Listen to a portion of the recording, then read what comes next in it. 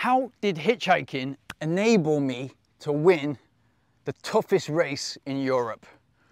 Now, I had a history with this race, Subida Pico Veleta. I got into it in 2010. And initially when somebody told me about it, my mind was blown because I didn't even know these things existed. It's an ultra marathon starting in Granada and finishing 50 kilometers later on the top of Mount Veleta in the south of Spain.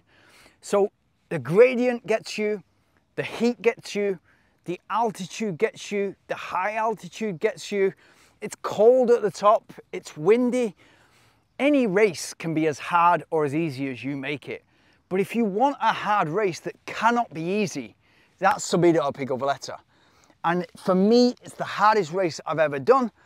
It's, it, especially when you're on the limit and you're really pushing it, for me, it couldn't be any more difficult. So how did hitchhiking enable me to win it? So in 2010, when I started, my only goal was to finish the race. I was relatively new to running. I'd been running for eight months at that point. I just wanted to survive and get to the finish before the cut-off time of eight hours. And that was my start. That was the start of the journey with Subida Pico Veleta. That turned into the thinking of I want to live in Granada. And by living in Granada, I want to train on that course and get better at this race because I know that if I can be better in this race, it's as hard as I can possibly imagine, I'll be better in the rest of my running. All my other running will, will, will improve. My marathons, my half marathons, my 5Ks, 10Ks, and my ultra marathon because it couldn't be more difficult than this. And that's what I did. So two years later, I moved to the course and then my results became a lot better. And that took me to gradually improving, gradually getting better, improving my position, improving my time. And then in 2016, I was the favorite to win the race because people had seen what I was doing in other races and, and it wasn't just that I was the favorite that pushed me on.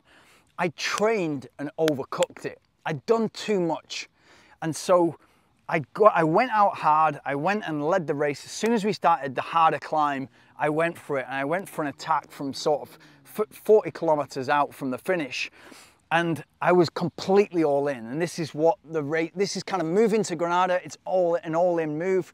Going from 40K, it's an all in move. It's what I'm all about, but you have to also insert a strategy and be self-aware of what am I actually capable of. And so in 2016, after finishing the race five times, 2016, I didn't finish because I was having all sorts of problems. The heat got to me for the first time ever because I'd gone out too fast. My stomach was all over the show because I'd gone out too fast.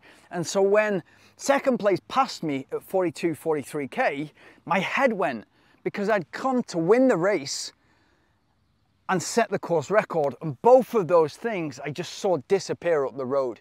I knew that even 7K out, I'm not gonna finish it even I'm not even going to make the podium. My head went, and regrettably, I still regret it to this day. I, I just dropped out. I got in a car and got to the finish line, got my drop bag, and but it lit an enormous fire in my stomach. And and the very very next day, I just began. All my training was dedicated for Subida o Pico Veleta, which meant the midweek interval session was on the course. The weekend long run was on the course. And so that I avoided the traffic the ski village is at 2,400 meters. So that's very, very busy in the winter. But in the summer, nobody's up there apart from hikers, cyclists who come down on their own, and and also run, other runners or climbers. That's all who's up there. So there's very little up there, and therefore nothing is open up there, either in the ski village or at the kind of like Hoyo de la Mora it's called, which is like 11k from the finish from the finish line. So you're going up there knowing full well that nobody's going up there, and especially midweek, but I wanted to avoid the traffic. So I moved my interval session and long run to be in the week. So I would go the night before. One tactic I had was to drive up with the bicycle in the back of the car and then cycle back. So descend down, and I just do that, and it's about 35k, and then and then I'd, I'd have my bike in the house, I'd, I'd run up the mountain, get my get in my car and that would have recovery, uh, nutrition, etc. And that would be the perfect solution.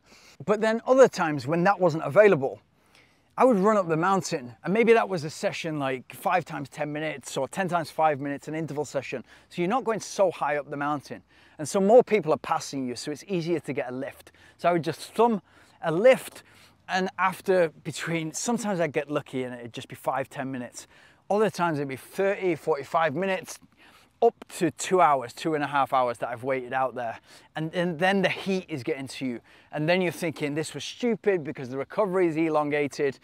If you're doing a long run, it's even worse because then you're going beyond where traffic can go. At the 11K to go barrier, traffic is not allowed to pass there. So first you've got to finish the run and then you've got to get back back down to the ski centre or the ski village and then you can thumb a lift from there. And there's lots of people usually around there at the weekends, but not so many during the week. So it's difficult, so you have to wait. But what it did for me was this. It seems nonsensical because nobody, especially you've got no shirt on, you've got a bottle, you're sweating, you don't smell great, you've got small shorts on, you've got running shoes on, you look like a crazy person.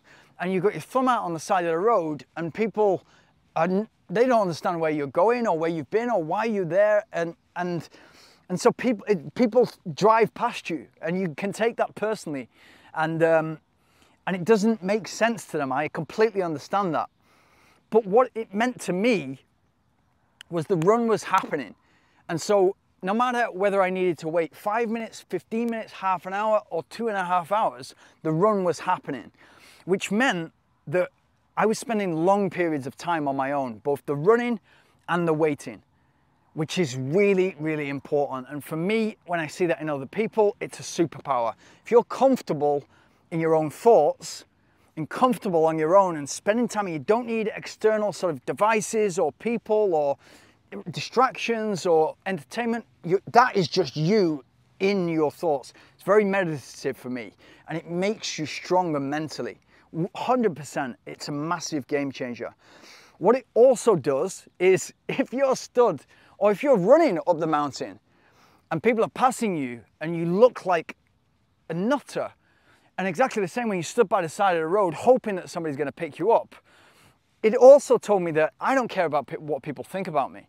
This is just me on a pursuit to try and win the hardest race in, in potentially the world, and I don't care what people think about me. I'm just out here doing my thing. And so I'm spending lots of time on my own. I don't care about what people think. And those, for me, again, when I see them in other people, they're superpowers. If you don't care about what people think about you, you're probably in the top 10% of people in the world in terms of you're completely free to do what you want because you're not doing it to please anybody else.